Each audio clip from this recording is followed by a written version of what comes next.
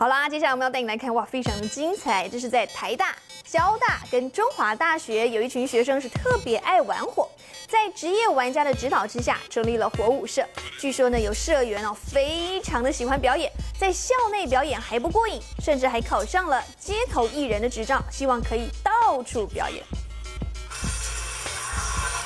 在暗夜中玩火，把火把当成武道的工具，这就是最近在大学校园里悄悄流行的火舞。现在在台大、交通大学以及中华大学，有一群特别爱玩火的学生，在职业玩家的指导之下，创立了最富挑战性的特殊社团——火舞社。像棍子的话，它火太大，有时候会烧到一些头发；然后像那个火球、炭球，有时候转的时候会一些，就是打就皮肤有时候会烙烙印，会